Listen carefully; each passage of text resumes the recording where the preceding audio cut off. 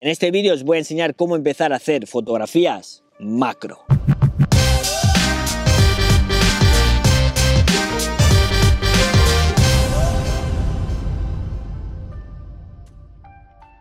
Bienvenidos, bienvenidas a un nuevo vídeo tutorial de fotografía. En este vídeo os quiero enseñar cómo empezar paso a paso a hacer fotografías macro.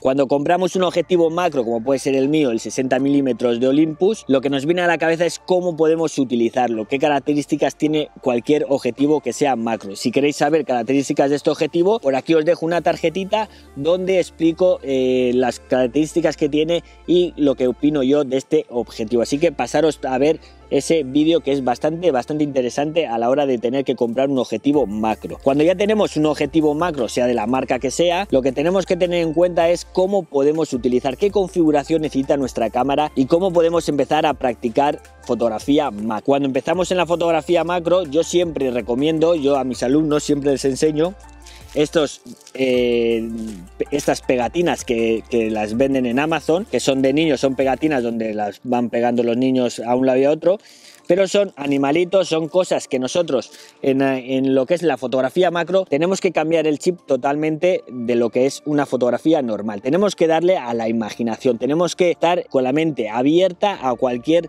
cosa que podamos crear diferente. Entonces nosotros podemos añadir cualquier eh, pegatina, cualquier ya sea un león, ya sea una princesa, ya sea lo que sea, podemos incorporarla en cualquier lugar y lo que vamos a aprender con esta técnica de, de las pegatinas es a saber enfocar rápido y a saber utilizar los parámetros correctos en fotografía macro. ¿Qué pasa si nosotros queremos empezar directamente a hacer fotografías de insectos? Los insectos, si no están disecados y si no están muertos, en cuanto nos acerquemos y además no estamos, no somos conscientes de cómo utilizar bien el, objetivo, no somos rápidos en nuestras fotografías, no llevamos flash, no llevamos muchas cosas, las primeras fotografías o los primeros eh, meses de esas fotografías van a ser un desastre.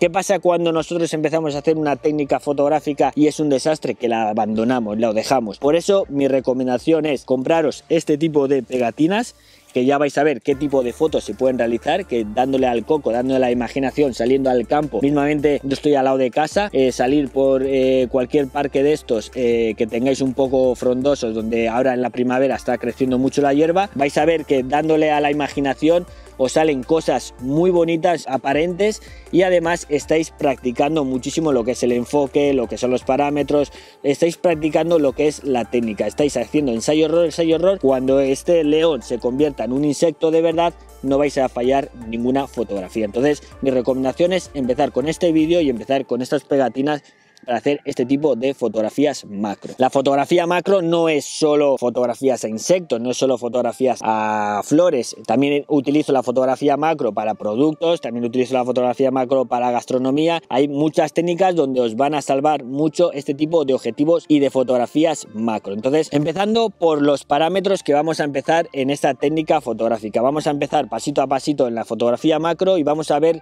cómo vamos configurando nuestra cámara para empezar en la fotografía macro. Hoy nos voy a meter flash, no os voy a enseñar a utilizar flash en fotografía macro, lo que vamos a utilizar es el sol, es la luz del sol y vamos a subir un poquito más el ISO, pero no, no sucede nada, yo estas fotografías muchas veces las no llevo flash y porque este objetivo siempre lo llevo en la mochila y se me ocurre una fotografía, no llevo flash, la subo el ISO a 1250, juego un poco con la luz de donde venga y podemos hacer fotografías muy espectaculares, entonces no necesitamos hacer una inversión de flash para empezar en la fotografía macro. Vamos a empezar configurando la cámara en modo manual. Para configurar en modo manual ya tenemos que configurar tres parámetros, ISO, diafragma y velocidad de obturación. Vamos a empezar por la velocidad de obturación. La velocidad de obturación que yo suelo utilizar si el día está calmado como es la situación de ahora, vamos a poder utilizar velocidades de 1 partido 320, 1 partido de 500 para eh, que quede todo bien congelado el movimiento. Si hay cualquier cosa que no quede trepidada, si podéis subir un poquito más porque tenéis buena luz, podéis subirlo y subís el ISO Y no va a haber ningún problema. Diafragma que vamos a utilizar para este tipo de fotografías macro. Mi recomendación es utilizarlo entre 5.6 a f8. Ahí, en ese, en ese rango podéis configurarlo en cualquier diafragma que esté entre 5.6 a f8. Yo normalmente incluso muchas las disparo a f7. Es un diafragma correcto para fotografía macro. Vais a tener todo bastante enfocado porque si lo fotografíais a 2.8, que este objetivo es 2.8, lo que vais a hacer es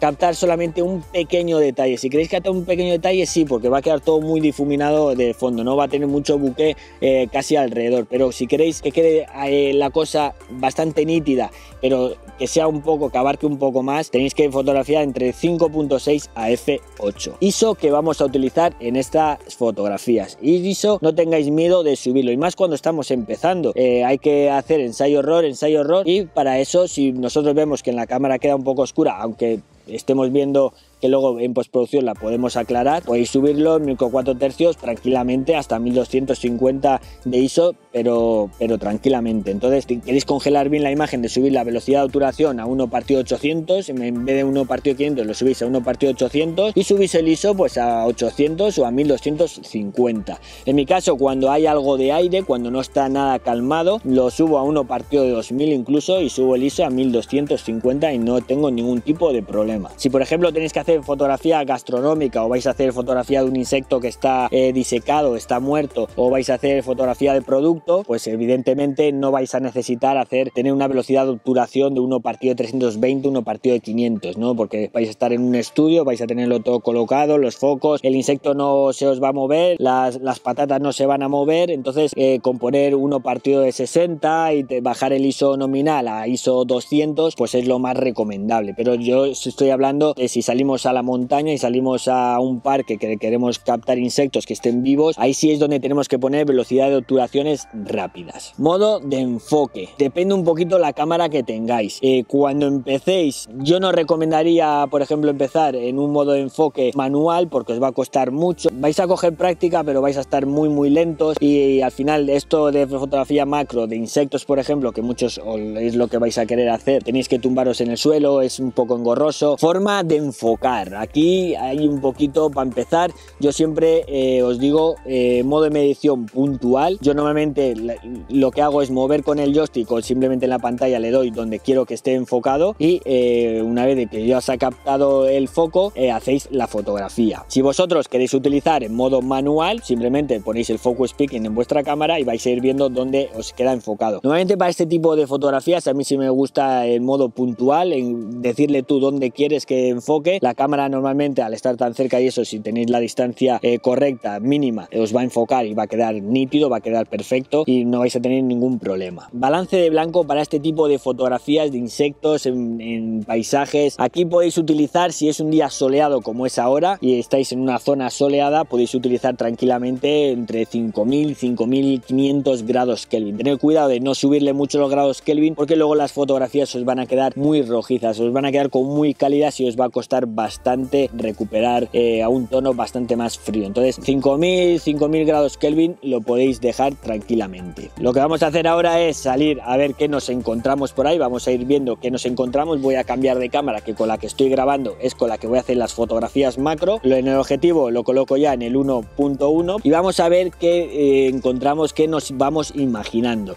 En este caso, como para para hacer esta práctica me he traído aquí, tengo aquí eh, animales que podían ser de un safari y también tengo pues lo que viene siendo unos dinosaurios, ¿no? Vamos a ver qué, le damos al coco, qué nos encontramos, qué podemos eh, fotografiar. Os iré enseñando un poquito mi técnica, ¿no? Lo que sí tenéis que tener en cuenta que para hacer este tipo de fotografías, que normalmente suelen estar al suelo, ropa vieja, para, hacer, para tirarnos al suelo, tumbarnos, tener nuestro tiempo y no vamos a utilizar ni flash ni vamos a utilizar trípode. Para, este, para empezar en este tipo de fotografías no vamos a utilizar ni flash ni trípode, vamos a utilizar velocidades altas a f5.6 hasta f8 y si tenemos que subir, subimos el ISO. Así que vamos a ver qué fotografiamos. Bueno, pues ya tengo al primer modelo. Eh, lo que voy a hacer es colocarlo por esta zona aquí, que hay algunos tronquitos, algunas hierbas como que me estaría mirando. Lo que voy a hacer es fotografía macro con esto. Vais a ver ahora mismo el resultado. En esa zona es donde he colocado el zorro y vamos a hacer ahora la magia de la fotografía macro, que vais a ver que es muy sencillo, pero simplemente le he tenido que dar imaginación, es como si yo me hubiera encontrado eso, bueno, se ha caído en este momento porque hace un poquito de aire, vamos a subir la velocidad de obturación, como veis, hacer fotografía macro puede ser muy, muy divertido. No solamente podemos ir nosotros a hacer fotografía macro, sino que también usando esta técnica de llevar pegatinas de nuestros hijos, podemos llevarles a ellos y les va a hacer mucha ilusión ver en la pantalla cómo queda todo mucho más ampliado. Otra de las ventajas que conseguimos haciendo fotografía macro es que nuestra velocidad al utilizar la cámara va a ser mucho más ágil. Después cuando usemos otro tipo de técnicas, cuando hagamos fotografías de otro tipo de técnicas, vamos a ser mucho más rápidos porque la cámara la conocemos muy bien. Y una de las cosas que mejor mejoramos haciendo fotografía macro es nuestra imaginación. Nuestro ojo fotográfico es lo que más mejoramos y los encuadres en la fotografía macro. ¿Por qué? Porque estamos imaginando, estamos todo el rato pensando en cuadres, todo el rato estamos dándole vueltas a cómo poder hacer esa fotografía y, lo, y sin darnos cuenta vamos a mejorar muchísimo nuestro ojo fotográfico. Ya sabéis que si no queréis perder los próximos vídeos tutoriales de fotografía y de vídeo, podéis suscribiros al canal que es una suscripción totalmente gratuita y a mí me apoyáis para que os siga trayendo este tipo de contenido. Nos vemos en un próximo vídeo.